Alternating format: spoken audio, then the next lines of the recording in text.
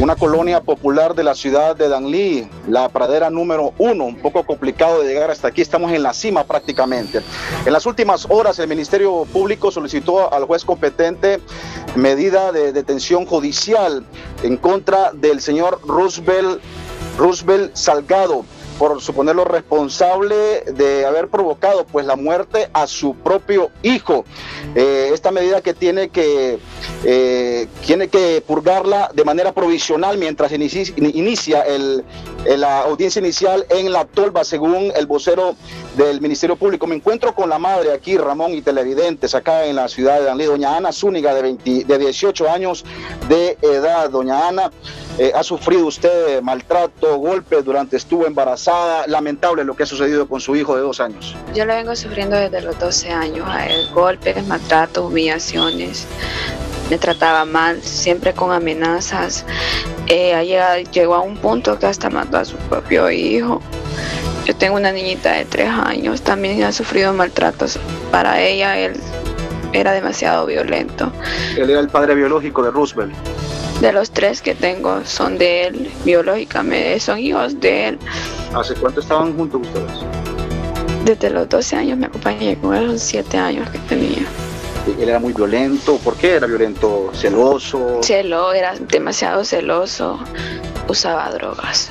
¿Él, se drogaba? Sí, usaba drogas. Siempre que llegaba a su casa era maltrato Ahí en la casa se drogaba y por cualquier cosa lo golpeaba.